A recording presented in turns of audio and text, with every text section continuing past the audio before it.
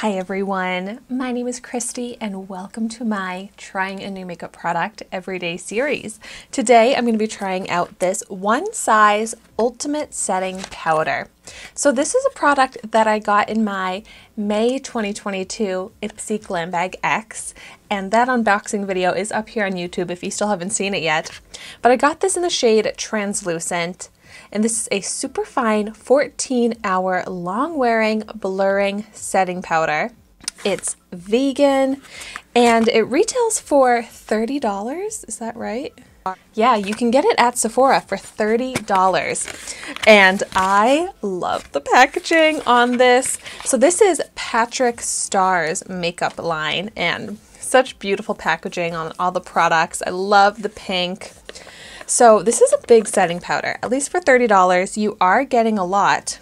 So rather than just like the little dots in the sifter, it has O slash S for one size.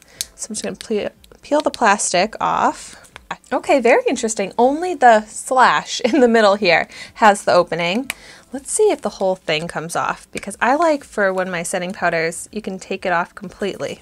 Oh yeah, I think I can fully remove the sifter. I don't know, I just find it to be a little bit easier than having to tap off the perfect amount into the lid or something. So I like that you can open it up fully. And so first I'm going to try this as my concealer setting powder. That's when I use setting powder the most. And I just freshly applied some concealer that's creasing. So I'm going to just use my dampened sponge here, dip into the powder. It does have a little bit of a off-white color, so that should be good for no flashback, but hopefully it doesn't darken my under eye too much. Ooh. It definitely has a soft finish, and it did completely set the concealer and so this under eye versus this one, I mean, my under eyes are not looking very bright. not the best concealer that I used, but it didn't alter the color of my foundation or concealer. It didn't darken my under eyes, so that's good. This will be, I think, a good under eye setting powder. So just tap off any of the creasing, go in with the powder. So you could bake like that. I don't really bake, especially because my skin's been so dry lately, but it does blend in super easily and you're not left with a powdery finish, which is something I'm always picky about. I don't want it to look like powder on the skin. I want it to be soft, invisible, and prevent the creasing, and that's exactly what this is doing. I do have dry skin on my cheeks, so my skin right now is not the best for using a setting powder because even where I got it on my cheeks a little bit, it definitely was drying out the skin even more, emphasizing the dryness.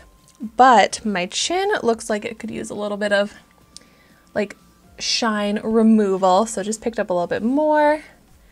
I wish this came with a puff. That would be nice, but works fine with the dampened sponge. Yeah, and it does a nice soft matte setting effect.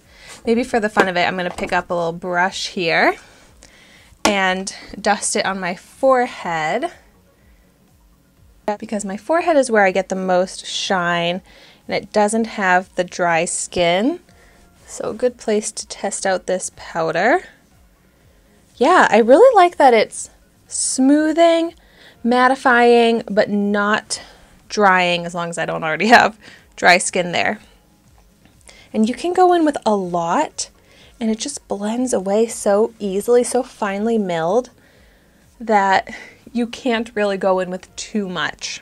The thing is though, this claims to be blurring and I'm not seeing any blurring effect. Mostly just the oil absorbing, like shine removing.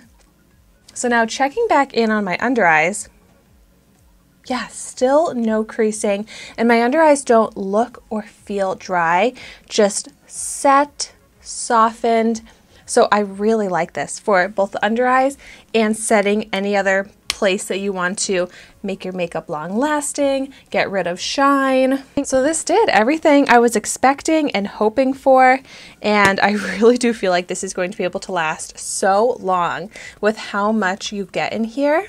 And I feel like since it's like so finely milled, just a little dab can spread so far. So this is another great product for the summertime. So good product to get in the May Ipsy Glam Bag X because it will help if your skin gets shiny, if you get sweaty, and it will remove that without leaving any visible powdery residue, just soft mattified skin.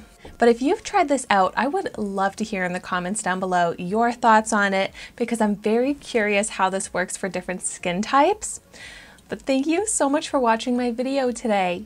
Be sure to like, comment, and subscribe to my channel so you can see the makeup that I try every day. And I will see you tomorrow in my next video.